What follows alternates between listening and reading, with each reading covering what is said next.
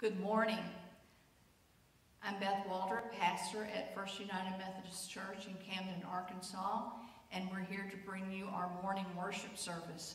I just want to talk to you for a few minutes about how we stay connected because my job as your pastor is to empower um, you, the laity, to connect to one another, to do what I can but also uh, empower you. And I just want to thank the shepherds because they have been great. I've heard stories this week of how they've helped so many people out, and I'm grateful for them.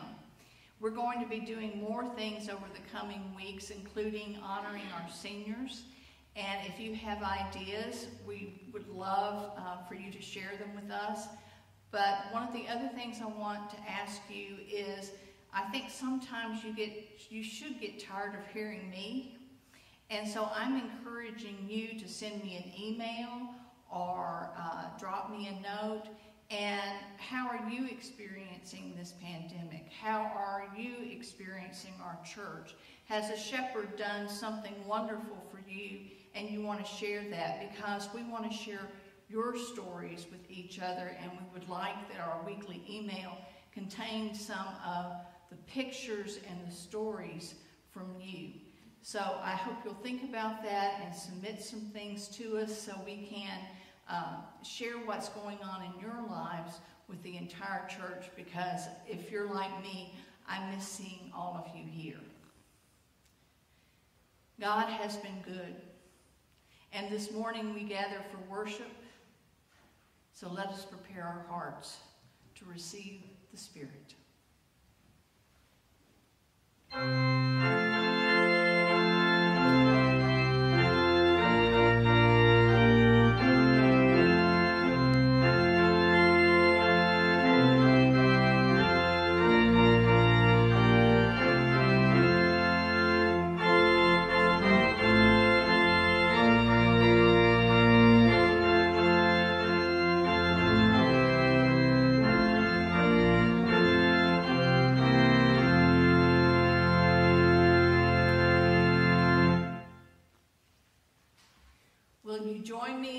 call to worship. When you feel alone, do not despair. Christ is here. When your hope falters, open your ears. God is speaking words of comfort and love. When your spirit sags, open your hearts. The Spirit is here to guide you home.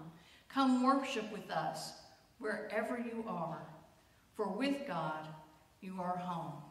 Will you join us in singing a, uh, a wonderful hymn called Blessed Assurance?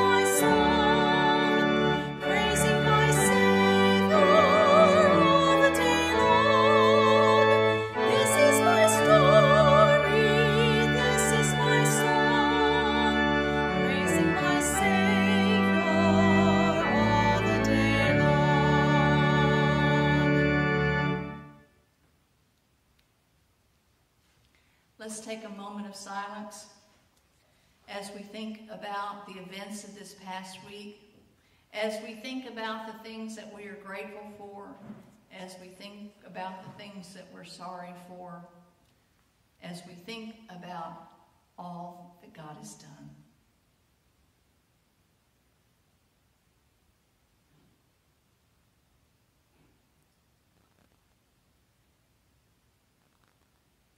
Now will you join me in our prayer of confession?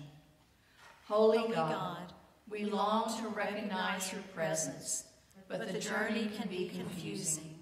We yearn to hear your voice. We desire to touch the life-giving water and the power of your enduring word, so we may know your forgiveness and grace each and every day. Amen. Hear these words of assurance. In the name of the risen Christ, we are forgiven and free. In the power of God's enduring word, we are given new birth and offered a community of resurrection and hope. So if you notice today, for our children's sermon, I have my mask on. And uh, the book we're going to look at is Being Kind. And one of the important things that we are doing to be kind to one another is to wear our mask. And uh, we wear those in public. We wear those if we go anywhere. We don't have to wear them in our homes. But it's really important if we're going to be around other people that we wear our mask. We have a sign uh, through and on our drive-through where people come through uh, either for Sue's table or our food pantry, and it tells them that we wear our mask and we wear our gloves to protect them, our cherished neighbors. It's one of the ways that we show God's love and one of the ways that we're kind to one another. And so here uh, is a book called Be Kind, and it's how two simple words can change the world. And it's a story about a young girl named Tanisha who spills grape juice all over her new dress. And uh, she has a classmate that wants to help her feel better, and she doesn't know how to do that. Tanisha spilled grape juice yesterday. All over her new dress. And everyone laughed. I almost did. But mom always tells me to be kind, so I tried. I don't think it worked. I told her that purple was my favorite color too. I thought she would smile, but she ran into the hall instead, and when she came back, snack time was over. And she put on her art smock and didn't look anymore at anyone. I almost told her that art was my favorite class, but I didn't want her to leave again, so I painted purple splotches and added some green until I have a bunch of beautiful violets. While I painted, I thought about her. She, uh, should I have handled, handed her my napkin or let her borrow my sweatshirt, spilled my juice so everyone stared at me, it said? What does it mean to be kind anyway? making cookies for Mr. Rinaldi, who lives alone, or letting someone with small feet have my too tight shoes. Maybe it's helping put dirty dishes in the sink or cleaning up after Otis, our class guinea pig. He's a messy eater. Maybe it's paying attention or telling Desmond I like his blue boots, or making the new girl to be my partner, or listening to Aunt Franny's stories even though I've heard them all before? Being kind should be easy, like throwing away a wrapper or recycling a bottle, or saying thank you, or bless you, or what's new, or good afternoon. Mom says the quickest way to be kind is to use people's names. Maybe I can't solve her grape juice problem.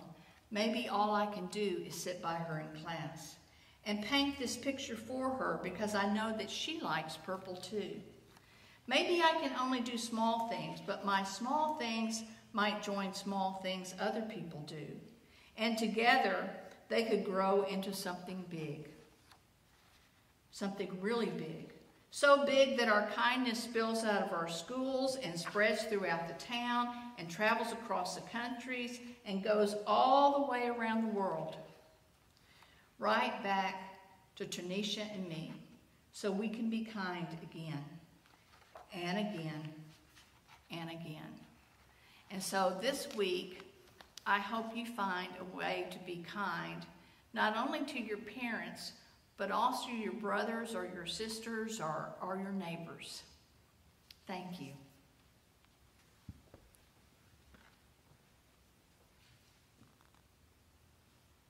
So last week we began a series in 1 Peter and 2 Peter. And we talked about how this is a really appropriate text for the time we live in today. We talked about that Peter wrote these letters to the churches in Asia Minor. These weren't large churches, they were fairly small churches. And the churches were made up of slaves and servants, a lot of the poor of the population, and even women of wealth. But all of these, even the women, were second class citizens. They were, um, uh, they were low on the power totem pole. We also discussed that when they accepted Christ, they were called to live differently. They were called to be different. And what Peter is assuring them of is when you accept Christ, you have a permanent inheritance in God's promises to you. What you need to remember, though, is that not all people will be happy with your newfound faith in Jesus Christ, but they can't change your circumstance. So now we're going to look, skip a few verses over, and go toward the end of 1 Peter, and we will find a continuation of this letter. So I'm in 1 Peter, and um, still first chapter, but I'm going to start with the 17th verse. Since you call upon a Father who judges all people according to their actions without favoritism, you should conduct yourselves with reverence during the time of your dwelling in a strange land. Live in this way, knowing that you are not liberated by perishable things like silver or gold from an empty lifestyle you inherited from your ancestors. Instead, you were liberated by the precious blood of Christ, like that of a flawless, spotless lamb. Christ was shown, chosen before the creation of the world, but it was only revealed at the end of time. This was done for you, who through Christ are faithful to the God who raised him from the dead and gave him glory. So now your faith and hope should rest in God. As you set yourselves apart by your obedience to the truth, so that you may have genuine affection for your fellow believers. Love each other deeply and earnestly. Do this because you've been given new birth, not from the type of seed that decays, but from seed that doesn't. This seed is God's life-giving and enduring word. This is the word of God for the people of God. Let us pray. May your scripture always be my delight, O Lord. May I not be deceived in them or deceived by them. Amen.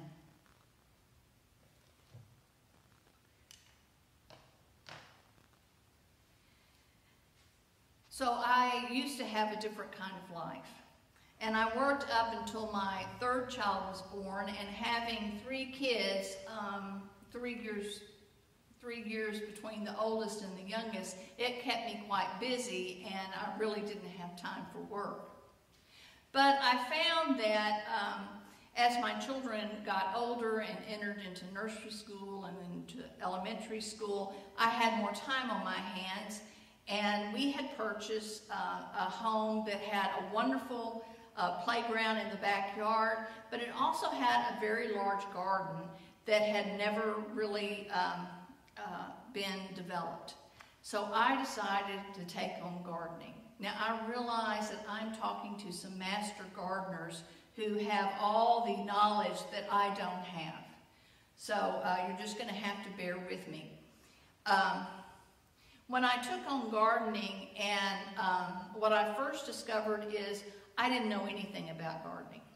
I mean, I had planted flowers as a kid and I had planted seeds, but this was a big garden plot, and so I really wanted to do it right. And so the first thing I realized is, you know, I don't know what I'm supposed to do. I don't know how to make it work. I don't know what is best. So I got a book, and I read this book. And this was really before you could go online and look at things. So I had this stack of gardening books. It was about this tall.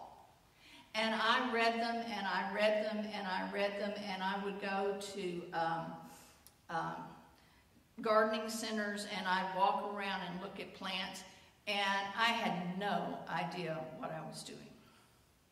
So the first thing I did is I decided to plant hydrangeas. And this book told me um, that this, this, if you want to plant, then you need to plant on a north wall and you needed to make sure that your ground was right. So what I learned uh, right off the bat was that the soil made a difference. You could choose healthy plants and you could choose the right seed, but if you didn't, um, if you put them in bad soil, they would not thrive. And so I followed the instructions and I dug way down and I put all the stuff in the soil, including the really smelly stuff. And I will tell you right now that I can still drive by that house in Little Rock, and those hydrangeas are absolutely gorgeous because I picked the right plant and I did the soil right, and in their first few years, I tended them the right way. And that's what you learn. It's not only the soil, and it's not only choosing the plant, it's what kind of plant you choose. So if you go to a gardening center, there's wonderful plants, and they're colorful plants, and they're called annuals. And what you discover about annuals is it's really easy to plant them, but the first frost that comes along, they're dead. And you're going to have to replant them again next year. And after a few years, that can get really tiring, especially if that's your whole garden. But then I learned there was something called perennials. And perennials were, if you took care of them, they were imperishable. So you had the plants like annuals that were perishable, and you had um, the perennials which were imperishable. And then you had to learn how to take care of them. Because even though perennials would die off in the winter, they would start coming back again in the spring, and you had to know your plants to know which ones were the weeds and which ones were the actual perennial that would turn into a beautiful flower. This goes along with our scripture passage for today. I want you to think about it in terms of gardening. First of all, it tells us that we need to approach our obedience with a reverence. And, uh, and the um, New Revised Standard Version, it calls it reverent fear. And the CEB, which I read, it just calls it reverence. Reverence, fear, and, and reverence are means that we hold something uh, in esteem. In other words, uh, we realize that this, whatever it is, we're showing it respect. We recognize when it comes to God that we should have reverence to God and, and somewhat a fear to God. And all that is saying is that God is God and we're not. There is a distinction. God isn't Superman. He isn't like us and uh, just with superpowers. God is something holy and wholly different. And just like when you approach a garden, you knowing that you don't know everything about gardening, that same thing is when it comes to approaching God, you don't know everything about God. And you're not going to know everything about God. There's going to be mysteries about God, and, and you have to hold those in reverence. What Peter is also saying is when it comes to your obedience and it comes to all that is holy, you have to have good foundation. You have to have good soil.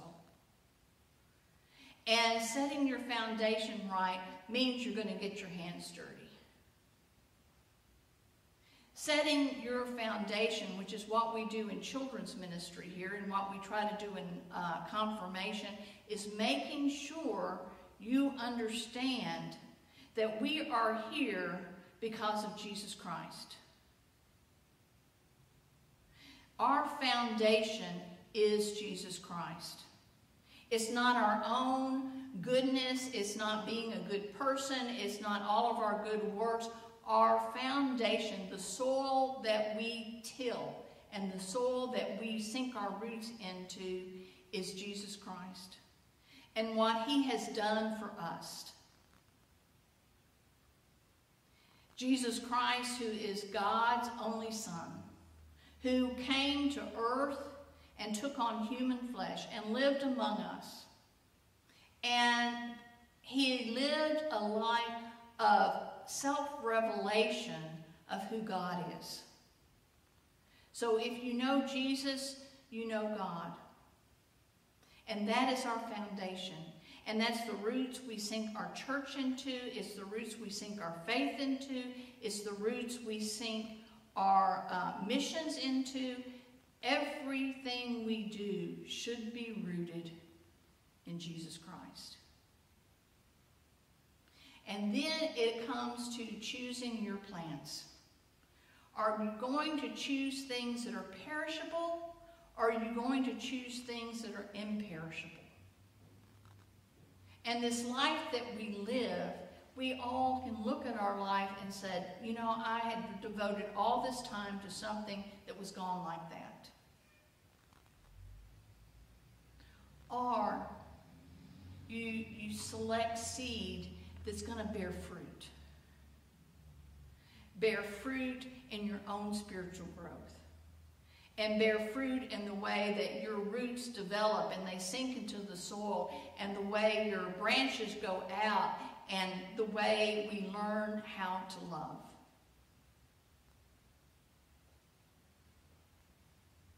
And finally, he's talking about how we learn to love each other, and that's and that's all in how we tend to this this wonderful garden of a life of faith that we have.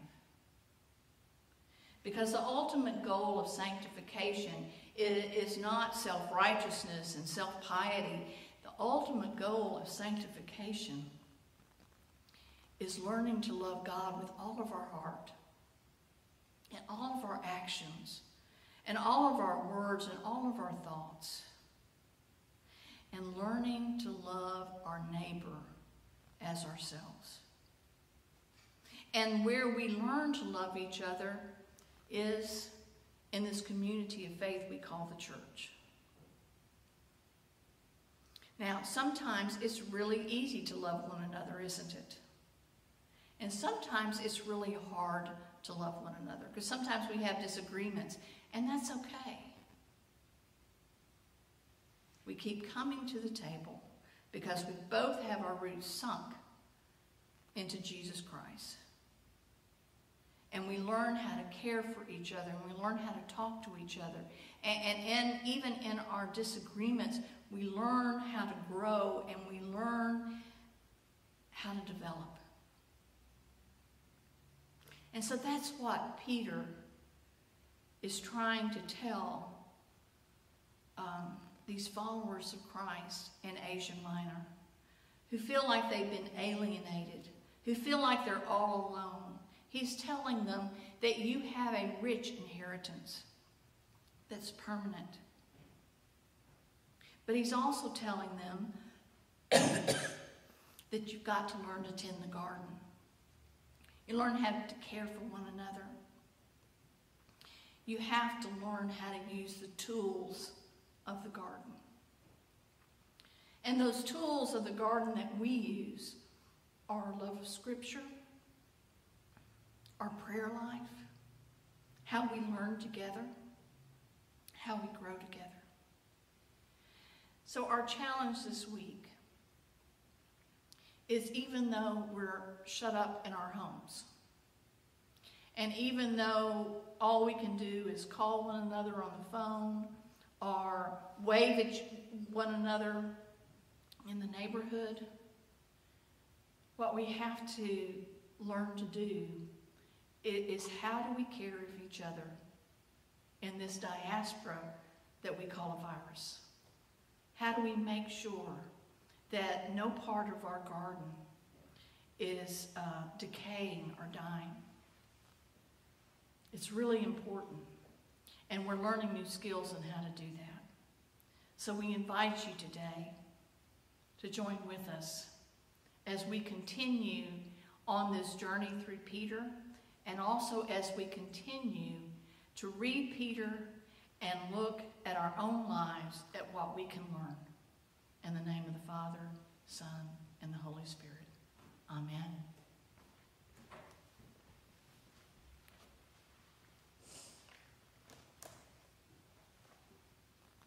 I hope that you will take time to read your prayer list. It's in the bulletin uh, that we supply in the Friday email. And um, I hope you will continue to remember those names. We have added a few more names and continue to remember them. Will you join me in prayer? Loving God, how we desire to really live as your Easter people.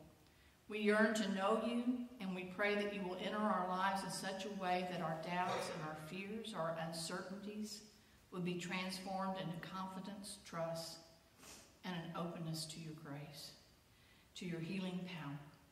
Enabled us to be like little children, excited and empowered by the new life and new possibilities you have in store for us.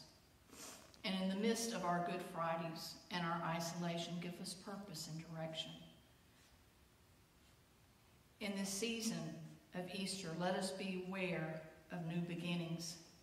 We lift up prayers for all who suffer from physical and mental illness, and we give you thanks for the new medical breakthroughs that may not have happened yet, but will happen in the future. We lift up prayers for victims of this virus.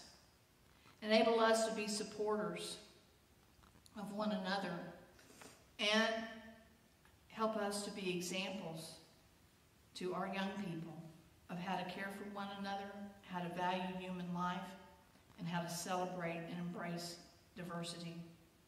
We lift up all who live in poverty and have been affected. We lift up those without shelter or food. May we be shapers and workers in programs that provide food for the hungry, shelter for the homeless, and clothing for the deprived. Enable us to really listen to one another's concerns, hopes, and dreams, and to recognize and change those behaviors that undermine healthy relationship. Finally, we lift up prayers for ourselves.